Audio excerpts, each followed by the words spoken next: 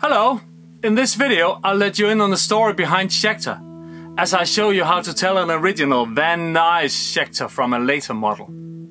And Van Nuys Schecters are the guitars and basses built in the original shop in Van Nuys or by parts made in the same facility from 1976 to 1984. In the mid 1970s or so, all the big manufacturers struggled with quality and therefore there was a market for high-end counterparts. In 1976, Dave Schecter started out making pickup assemblies. Eventually Schecter produced all parts needed for building a guitar or bass, so why not expand to assembling whole guitars as well? Thus, the first so-called Dream Machines left the Schecter shop in February 1979. You could still just order the various components for a guitar, have it assembled by a luthier or do it yourself. Those became known as Schecter shop models, part builds or dealer builds. Schecter was making replacement parts for both Fender and Gibson and to some extent Rickenbacker models. But Schecter's own guitars were almost exclusively based on the four classic original Fender designs Stratocasters, Telecasters, Precision and Jazz basses. Whereas Fender used rather common woods for their necks and painted guitar bodies, Schecter often used exotic woods and perhaps in order to show this, the bodies were usually left unpainted. Often you see brass and metal replacing plastic, to make it more luxurious I guess, but the downside to all this was again weight. Compared to contemporary Fender guitars, Schecters were well built, heavy and handmade hot rodded guitars with price tags that matched today's Fender custom shop. And since it was a small shop, they only did like one or two guitars a week, so I guess we can add rare to that list as well. Here's an example of an early precision shape bass from around 1980. First off, there's no decal or logo on the headstock, which tells me that it's a parts build. Whereas Dream machines always came with a raised logo in metal or a decal on the lacquer on the headstock, parts builds often didn't. Some dealers did have either silver or black decals to put on though, and very few had the raised logo as well. A Dream Machine would also sport a neck plate serial number, usually an S followed by four digits, so they're pretty easy to spot. One more indication pointing to this being merely a parts build, as there is none. Next up is taking off the neck to look for codes in the neck pocket and on the heel of the neck. Most pieces have two numbers. The one usually beginning with F for Fender perhaps refers to the catalog or a price list displaying which shape and what kind of wood were used. This has F6890 which, according to the 79 catalog, is a PJ model made of Koa. One piece actually, which many early ones are. The neck is too early to have a wood code, but it's clearly maple. The other number is a serial, which can roughly put the piece on a timeline. Short of 10,000 necks and bodies were produced in the Van Nuys shop, and they were all sequenced by the same numbers. Neck serial 2691 and body serial 3940 tell us that the neck is probably from 1979, while the body was made around 80. These numbers, the Schecter stamps, the skunk stripe and general build quality show that this is built from genuine Van Nuys Schecter parts.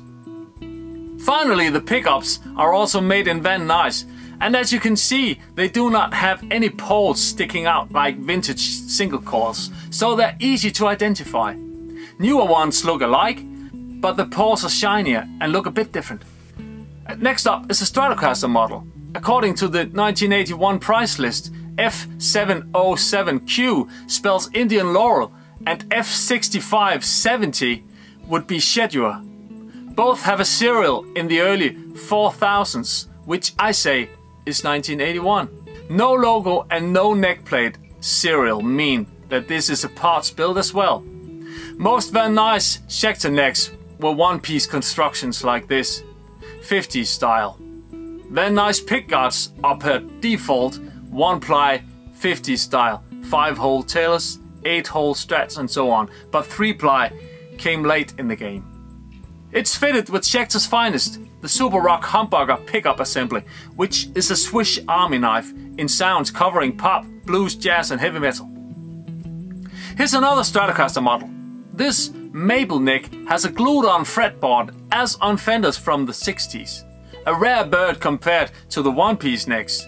And like all Van Nuys Schecter necks, it has a skunk stripe and neck adjustment through the heel of the neck.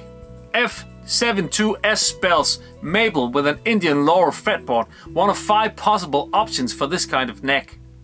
F676Q means that the body is made of satin walnut, two-piece. 1PW seems to have assembled this guitar, or at least crafted the neck, in March 1982, which is why I assume that the 6000s are roughly 1982. No plastic parts are used as you can see, and like the previous Stratocaster, it has the Super Rock assembly, which comes with push-pull functions in two of the knobs to access all of the variations the pickups have to offer. Here's a painted Dream Machine jazz bass. It has the decal placed in the right angle on the lacquer, which compared to the previous Stratocaster is how they look when factory fitted. And most important proof of this being a Dream Machine, it has the S serial number on the neck plate, which is used exclusively on in-house models. Dream Machines were their premium custom product, but many parts builds are equally good guitars. Genuine Dream Machines are rare. It is estimated that only 25% of their guitars were assembled in the shop, which means like 1,250 or so genuine Dream Machines in all. So this is a pretty rare guitar by any standard, as it is a Dream Machine of course, but also a lefty. Notice the three switches pickup system that was used on single coil fitted Stratocaster models.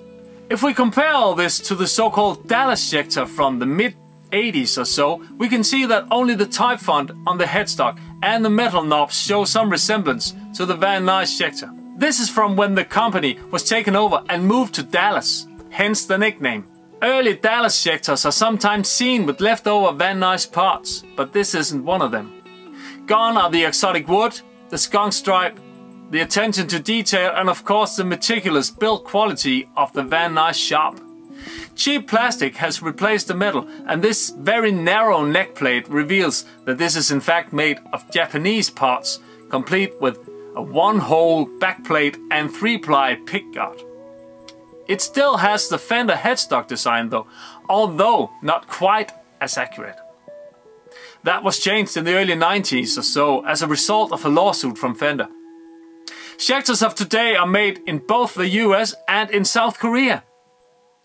They are easy to spot as they all have different headstock designs and often non-Fender shaped bodies as well. None of these have any resemblance to the Van Nuys Schecters apart from the name. I hope you enjoyed this video and that you'll be able to spot the real deal from the crowd. Please join the Schecter Van Nuys forum on Facebook for more info, more guitars and maybe to meet up with the guys from back then. Have a nice day.